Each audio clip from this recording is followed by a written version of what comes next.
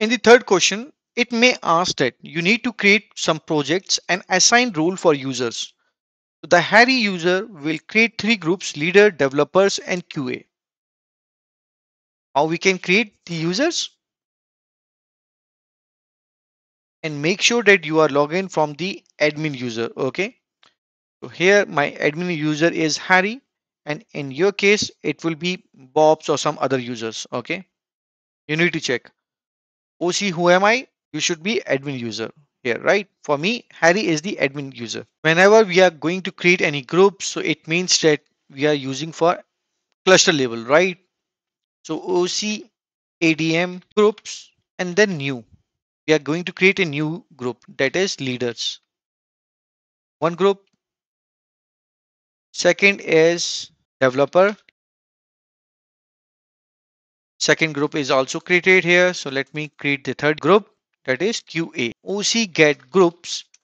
You will see that all these users are here are here developer this is what we have created developers leaders qa so these three groups we have created here now after that it says that add leader user in leaders group let's add the users that we created in the first question in some groups okay? Ocadm again we are using group command.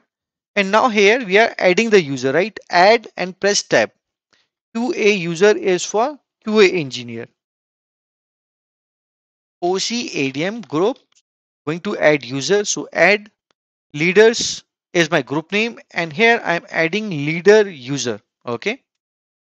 After that the raja should be in the developer right? Let me check here Yes, Raja should be in the developer group. OCADM group add user and the group name is developer and the username is Raja, right? Now again, we can execute this command kubectl get groups. Now we can see here that in the user column, we see these things. Leader is should be leader, QA engineer should be QA, and Raja should be in developers group. Okay, let's move forward assign the QA engineer user to the group. This is what we have already done. Now it says that given edit permission to leaders group. In the second question, we did different, but here we are giving the privileges to the group. Okay, edit permission to leaders group to these two namespaces, or you can say that for the projects, two projects, edit permission. The command would be ocadm policy. Add this time we are giving the rule not cluster role okay? So we this time we are using rule and we are assigning to group. Edit leaders group and on which project? Backend and the second group name is appdb okay? So let me use the same thing here. App press tab and it will auto complete okay?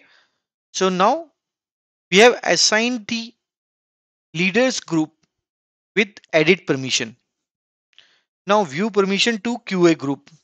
And which project? Front end oc adm policy add role to group. And this time we are going to add view. Giving view permission right? To a group. And from which project it should be front end. If you want to see the full solution, you can scroll down. That's it for this question.